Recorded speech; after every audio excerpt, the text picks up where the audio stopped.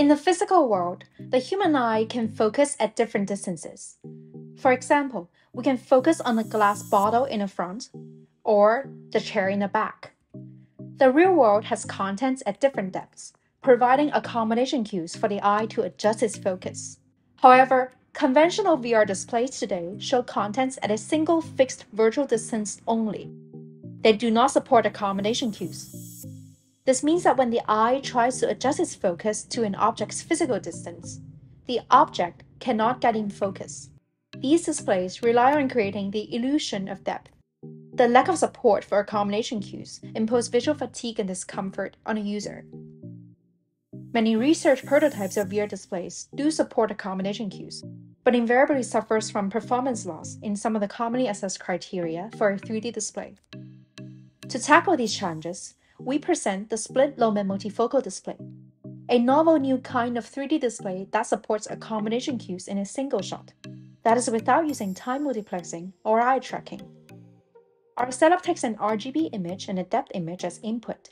Light from the RGB display goes through a cubic phase plate two times and produces a virtual 3D world. Looking through the eyepiece, we're then immersed in a virtual world that supports focal blur. Let's see the prototype and experimental results. Here's our hardware prototype. Here's a focal stack captured through our prototype display. Just like the physical world the eye sees, when a camera changes focus, it sees sharp content at the focus depth and natural focal blur at other depths.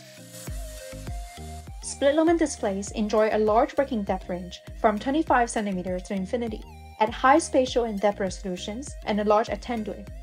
The display can also take RGB and depth videos as input, generating 3D movies out of the 60 Hz. When the 3D movie was played, we capture a video while manually changing the camera's focus at between the big sphere in the middle and the textured background.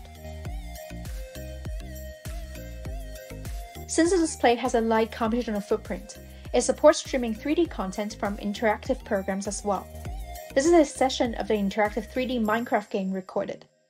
Participants at Emerging Technologies would enjoy a gallery of 3D scenes and play interactive 3D games on our prototype, with the option to view different depth range, depth resolution, with and without accommodation support, so to better compare it with a conventional VR experience. We believe that the split Lohmann display offers an exciting step forward towards a truly immersive, real-time 3D experience. Come experience single shot VR at our booth. For more information, please visit our website Thank you.